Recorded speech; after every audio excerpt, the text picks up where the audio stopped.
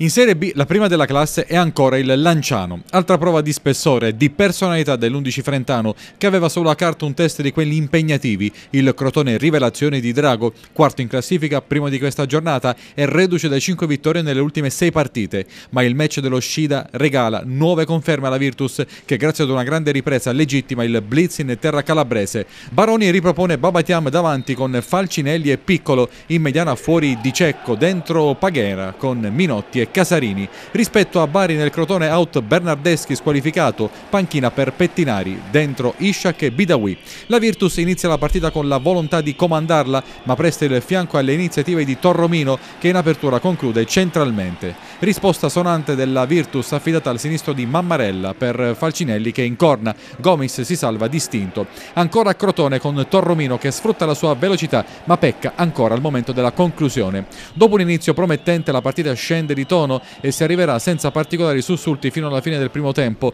con l'eccezione di una conclusione di Bidawi sull'esterno della rete del terzo e ultimo minuto di recupero che non possiamo mostrarvi. Il grosso però arriva nella ripresa e dopo 90 secondi è subito vantaggio Virtus, confezionato dai migliori in campo, cross basso di Casarini e girata millimetrica di Diego Falcinelli, palorete e secondo gol in campionato per il centravanti rosso-nero, con tanto di corsa sotto il settore ospiti, con un centinaio di scarso di tifosi lancianesi. Gara ora molto viva, Amenta sbaglia il disimpegno, Ishak non riesce ad approfittarne. 17 Virtus vicina al raddoppio con il siluro di Fabrizio Paghera, palo pieno dalla lunga distanza.